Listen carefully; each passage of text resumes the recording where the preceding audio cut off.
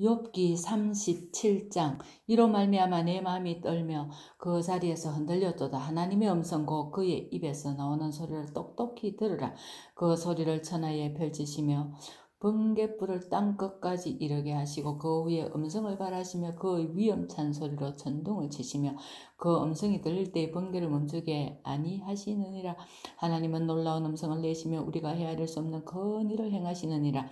눈을 명하여 땅에 내리라 하시며 적은 비와 큰 비도 내리 게 명하시느니라 그가 모든 사람의 손에 표를 주시어 모든 사람이 그가 지으신 것을 알게 하려 하심이라. 그러나 짐승들은 땅속에 들어가 그 처소에 머무느니라. 폭풍우는 그 밀실에서 나오고 주인은 폭풍을 타고 오느니라. 하나님의 입김이 얼음을 얼게 하고 물의 너비를 줄어들게 하느니라 또한 그는 구름에 습기를 실으시고 그의 번개로 구름을 흩어지게 하시느니라. 그는 감싸고 도시며 그들의 할 일을 조종하시느니라. 그는 땅과 육지 표면에 있는 모든 자들에게 명령하시느니라. 혹은 징계를 위하여 혹은 땅을 위하여 혹은 긍휼을 위하여 그가 이런 일을 생기게 하시느니라. 요비여 이것을 듣고 가만히 서서 하나님의 오묘한 일을 깨달으라. 하나님이 이런 것들에게 명령하셔서 그 구름의 번개로 번쩍거리게 하시는 것을 그대가 아느냐. 그대는 겹겹이 쌓인 구름과 완전한 지식의 경이로움을 아느냐. 땅이 고요할 때에 남풍으로 말미암아 그대의 의복이 따뜻한 까닭을 그대가 아느냐. 그대는 그를 도와 구름장들을 두들겨 넓게 만들어 녹여 부어 만든 거울같이 단단하게 할 수 있겠느냐. 우리가 그에게 할 말을 그대는 우리에게 가르치라. 우리는 아도나여 아뢰지 못하겠노라. 내가 말하고 싶은 것을 어찌 그에게 구할 수 있으랴. 삼켜지기를 바랄 자가 어디 있느냐 그런적 바람이 불어 하늘이 말끔하게 되었을 때 그 밝은 빛을 아무도 볼 수 없느니라 북쪽에서는 황금 같은 빛이 나오고 하나님께서는 하나님께는 두려운 위험이 있느니라. 전능자를 우리가 찾을 수 없나니 그는 권능이 지극히 크사 정의나 무한한 공의를 굽히지 아니하심이니라. 그러므로 사람들은 그를 경외 하고 그는 스스로 지혜롭다 하는 모든 자를 무시하시느니라. 38장 그때 여호와께서 폭풍우 가운데서 요업에게 말씀하여 이르시되 무지한 말로 생각을 어둡게 하는 자가 누구냐? 너는 대장부처럼 허리를 묶고 내가 네게 묻는 것을 대답할지니라. 내가 땅에 기초를 놓을 때에 네가 어디 있었느냐? 네가 깨달아 알았거든 말할지니라. 누가 그것의 도량법을 정하였는지 누가 그 줄을 그것의 위에 띄었는지 네가 아느냐? 그것의 주투는 무엇 위에 세웠으며 그 모퉁이 돌을 누가 놓았느냐? 그때에 새벽별들이 기뻐 노래하며 하나님의 아들들이 다 기뻐 소리를 질렀느니라. 바다가 그 모태에서 터져 나올 때의 문으로 그 것을 가둔 자가 누구냐? 그때에 내가 구름으로 그 옷을 만들고 흑암으로 그 강물을 만들고 한계를 정하여 문빗장을 지르고 이러기를 네가 여기까지 오고 더 넘어가지 못하리니 네 높은 파도가 여기서 그칠지니라 하였노라. 내가 너의 날에 아침에게 명령하였느냐? 새벽에게 그 자리를 일러주었느냐? 그것으로 땅끝을 붙잡고 악한 자들을 그 땅에서 떨쳐버린 일이 있었느냐? 땅이 변하여 진흙에 인친 것 같이 되었고 그들은 옷같이 나타나되 땅이 변하여 진흙에 인친 것 같이 되었고 그들은 옷같이 나타나되 악인에게는 그 빛이 차단되고 그들의 높이 든 발이 꺾이느니라. 네가 바다의 샘에 들어갔었느냐? 깊은 물 밑으로 걸어다녀 보았느냐? 사망의 문이 네게 나타났느냐? 사망의 그늘진 문을 네가 보았느냐? 땅의 너비를 네가 청량할 수 있느냐? 네가 그 모든 것들을 다 알거든 말할지니라. 어느 것이 광명이 있는 곳으로 가는 길이냐? 어느 것이 허감이 있는 곳으로 가는 길이냐? 너는 그의 지경으로 그를 데려갈 수 있느냐? 그의 집으로 가는 길을 알고 있느냐? 네가 아마도 알리라. 네가 그때 태어났으리니 너의 횟수가 많을 것이니라 네가 눈 곳간에 들어갔었느냐? 우박 창고를 보았느냐? 내가 환란 때와 교전과 전쟁의 날을 위해 이것을 남겨두었노라. 광명이 어느 길로 뻗치며 동풍이 어느 길로 땅에 흩어지느냐? 누가 홍수를 위하여 물길을 터주었으며 우회와 번개길을 내어주었느냐?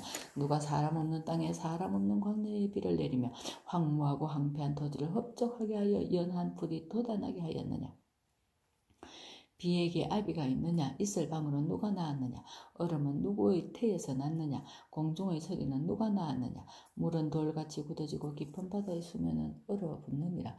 네가 묘성을 매어 묶을 수 있으며 삼성의 띠를 풀 수 있겠느냐?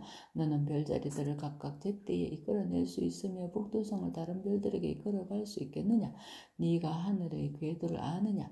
하늘로 하여금 네그 법칙을 땅에 베풀게 하겠느냐? 네가 목소리를 구름에까지 높여 넘치는 물이 네게 덮이게 하겠느냐? 네가 번개를 번역하게 하되 번개가 네게 우리가 여기 있나이다 하게 하겠느냐? 가슴 속의 지혜는 누가 준 것이며 가슴 속의 지혜는 누가 준 것이냐? 수탉에게 설기를 준 자가 누구냐? 누가 지혜로 구름의 수를 세겠느냐? 누가 하늘의 물주머니를 기울이겠느냐? 티끌이 덩어리를 이루며 흙덩이가 서로 붙게 하겠느냐? 네가 사지를 네가 사자를 위하여 먹이를 사냥하겠느냐? 젊은 사자의 식욕을 채우겠느냐? 그것들이 굴에 엎드리며 숲에 앉아 숨어 기다리느니라. 까마귀 새끼가 하나님을 향하여 부르짖으며 먹을 것이 없어서 허우적거릴 때에 그것을 위하여 먹이를 마련하는 네가 누구냐? 39장 산염소가 새끼치는 때를 네가 아느냐 암사슴이 새끼 낳는 것을 네가 본 적이 있느냐 그것이 몇 달 만에 만삭되는지 아느냐 그 낳을 때를 아느냐 그것들은 몸을 구부리고 새끼를 낳으니 그 괴로움이 지나가고 그 새끼는 강하여져서 빈들에서 크다가 나간 후에는 다시 돌아오지 아니하느니라. 누가 들나귀를 놔 자유롭게 하였느냐 누가 빠른 나귀에 메인 것을 풀었느냐. 내가 들을 그것의 집으로 소금 땅을 그것이 사는 처소로 삼았느니라. 들나귀는 성읍에서 짓거리는 소리를 비웃나니 낙이 치는 사람이 지르는 소리는 그것에게 들리지 아니하며 초장은덕으로 두루 다니며 여러 가지 푸른 풀을 찾느니라. 덜소가 어찌 기꺼이 너를 위하여 일하겠으며 네 외양간에 머물겠느냐? 네가 능히 둘러며 들소가 이랑을 갈게 하겠느냐? 그것이 어찌 골짜기에서 너를 따라 썰애를 끌겠느냐? 그것이 힘이 세다고 네가 그것을 의지하겠느냐? 네 수고를 그것에게 맡기겠느냐? 그것이 네 곡식을 집으로 실어오면 네 타작마당에 곡식 먹이를 그것에게 얻다 하겠느냐? 타조는 절개의 날개를 치나 학의 깃들과 날개에 같겠느냐? 그것이 알을 땅에 버려도 흙에서 더워지게 하고 밭 밭에 깨어질 것이나 들짐승에게 밟힐 것을 생각하지 아니하고 그 새끼에게 모질게 대함이 제 새끼가 아닌 것처럼 하며 그 고생한 것이 헛되게 될지라도 두려워하지 아니하나니 이는 하나님이 지혜를 베풀지 아니하셨고 천명을 주지 아니합니다. 그러나 그것이 몸을 떨쳐 뛰어갈 때에는 말과 그 위에 탄 자를 우습게 여기느니라. 말의 힘을 네가 주었느냐 그 목에 흩날리는 갈기를 네가 입혔느냐 네가 그것으로 메뚜기처럼 뛰게 하였느냐 그 위험스러운 콧소리가 두려우 니라. 그것이 골짜기에서 발굽질하고 힘있음을 기뻐하며 앞으로 나아가서 군사들을 맞대 두려움을 모르고 겁내지 아니하며 칼을 대할지라도 물러나지 아니하니 그의 머리 위에서는 화살통과 빛나는 창과 투청이 번쩍이며 땅을 삼킬 듯이 맹렬히 성내며 나팔 소리에 머물러 서지 아니하고 나팔 소리가 날 때마다 힝힝 울며 멀리서 싸움 냄새를 맡고 지휘관들의 호령과 외치는 소리를 듣느니라. 매가 떠올라서 날개를 펼쳐 남쪽으로 향하는 것이 어찌 네 지혜로 말미암음이냐? 독수리가 공중에 떠서 높은 곳에 보금자리를 만드는 것이 어찌 네 명령을 따름이냐? 그것이 낭떠러지에 집을 지으며 뾰족한 바위 끝이나 험준한 데 살며 거기서 먹이를 살피나니 그 눈이 멀리 범이며 그 새끼들도 피를 빠나니 시체가 있는 곳에는 독수리가 있느니라. 40장 여호와께서 또 요백에 일러 말씀하시되 터집 잡는 자가 전능자와 다투겠느냐? 하나님을 탓하는 자는 대답할지니라. 요업이 여호와께 대답하여 이르되 보소서 나는 비쳐나오니 무엇이라? 죽게 대답하리까? 손으로 내 입을 가릴 뿐이로소이다. 내가 한번 말하여 싸운 적 다시는 더 대답하지 아니하겠나이다. 그때 여호와께서 폭풍어 가운데서 요백에 일러 말씀하시되 너는 대장부처럼 허리를 묶고 내가 네게 묻겠으니 내게 대답할지니라. 네가 내 공의를 부인하려느냐? 네 의를 나를 세우려고 나를 악하다 하겠느냐? 네가 하나님처럼 능력이 있느냐? 하나님처럼 천둥소리를 내겠느냐? 너는 위엄과 정기로 단장하며 영광과 영화를 입을지니라. 너의 넘치는 노를 비우고 교만한 자를 발견하여 모두 낮추되 모든 교만한 자를 발견하여 낮아지게 하며 악인을 그들의 처소에서 짓밟을지니라. 그들을 함께 진토에 묻고 그들의 얼굴을 싸서 은밀한 곳에 둘지니라. 그리하면 네 오른손이 너를 구원할 수 있다고 내가 인정하리라.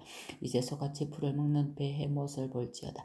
내가 너를 지은 것 같이 그것도 지었느니라. 그것의 힘은 허리에 있고 그 뚝심은 배의 힘줄에 있고 그것이 그것이 꼬리치는 것은 백향목이 흔들리는 것 같고 그 넓적다리 힘줄은 서로 얽혀 있으며 그 뼈는 녹광 같고 그 뼈대는 쇠막대 같 쇠 막대기 같으니 그것은 하나님이 만드신 것 중에 어뜸이라. 그것을 지으시니가 자기의 칼을 가져오기를 바라노라. 모든 들짐승들이 뛰노는 산은 그것을 위하여 먹이를 내느니라. 그것이 연잎 아래에나 갈대 그늘에서나 숲속에 엎드러지니 연잎 그늘이 덮으시며 시내 부들이 그를 감싸는도다. 강물이 소용돌이 칠지라도 그것이 놀라지 않고 요단강 물이 쏟아져 그 입으로 들어가도 태연하니 그것이 눈을 뜨고 있을 때 누가 능히 잡을 수 있겠으며 갈고리로 그것의 코를 꿰수 있겠느냐 만 한 장 네가 낚시로 리우야단을 끌어낼 수 있겠느냐? 노건으로 그 혀를 맬 수 있겠느냐? 너는 바줄로 그 코를 끌 수 있겠느냐? 갈고리로 그 아가미를 끌 수 있겠느냐? 그것이 어찌 네게 계속하여 간청하겠느냐? 부드럽게 네게 말하겠느냐? 어찌 그것이 너와 계약을 맺고 너는 그를 영원히 종으로 삼겠느냐? 네가 어찌 그것을 새를 가지고 놀듯 하겠으며 네 여성을 위하여 그것을 메어두겠느냐? 어찌 장사꾼들이 그것을 놓고 거래하겠으며 상인들이 그것을 나누어 가지겠느냐? 네가 능히 많은 창으로 그어 가지고 찌르거나 작사를 그 머리에 꽂을 수 있겠느냐? 네 손을 그것에게 얹어보라. 다시는 싸울 생각을 못하리라. 참으로 잡으려는 그의 희망은 헛된 것이니라. 그것의 모습은 보기만 해도 그는 기가 꺾이리라. 아무도 그것을 격동시킬 만큼 담대하지 못하거든 누가 내게 감히 대항할 수 있겠느냐? 누가 먼저 내게 주고 나로 하여금 갖게 하겠느냐 온천하에 있는 것이 다 내 것이니라. 내가 그것의 지혜와 그것의 큰 용맹과 늠름한 체구에 대하여 잠잠하지 아니하리라.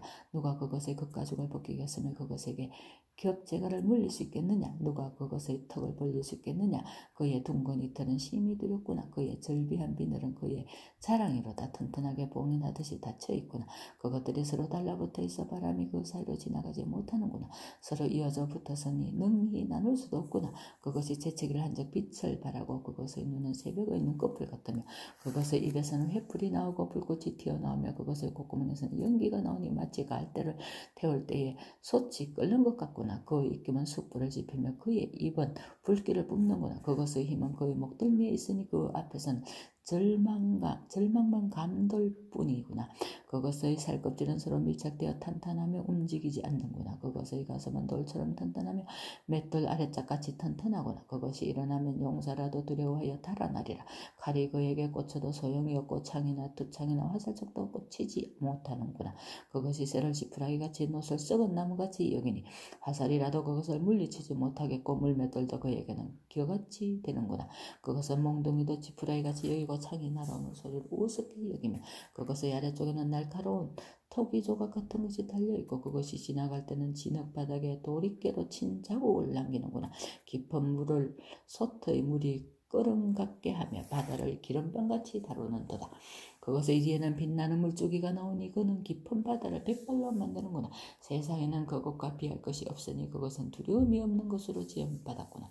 그것은 모든 높은 자를 내려다보며 모든 교만한 자들에게 군림하는 왕이니라. 42장 여비 여호와께 대답하여 이르되 주께서는 못하실 일이 없사오니 무슨 계획이든지 못 이루실 것이 없는 줄 아오니 무지한 말로 이치를 가리는 자가 누구니까 나는 깨닫지도 못한 일을 말하고 스스로 알 수도 없고 헤아리기도 어려운 일을 말하였나이다.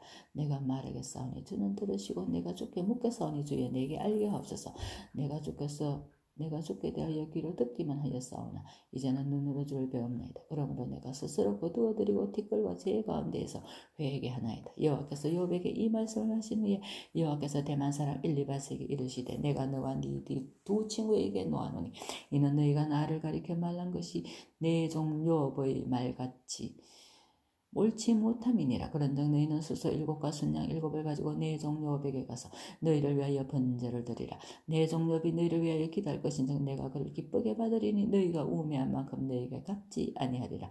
이는 너희가 나를 가리켜 말한 것이 내 종료의 말같이 옳지 못함이라. 이에 대만 사람 엘리바스와 수아 사람 빌다가 나아마 사람 소발이 가서 여호와께서 자기들에게 명령하신 대로 행하니라. 여호와께서 요업을 기쁘게 받으셨더라. 요업이 그의 친구들 위하여 기도할 때 여호와께서 요업의 공경을 돌이키시고 여호와께서 요업에게 이전 모든 소유보다 갑절이나 주신지라.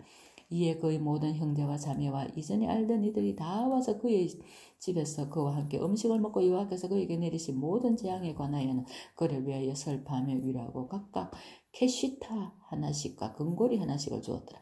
여호와께서 여호와의 말년에 여호와에게 처음보다 더 복을 주시니 그가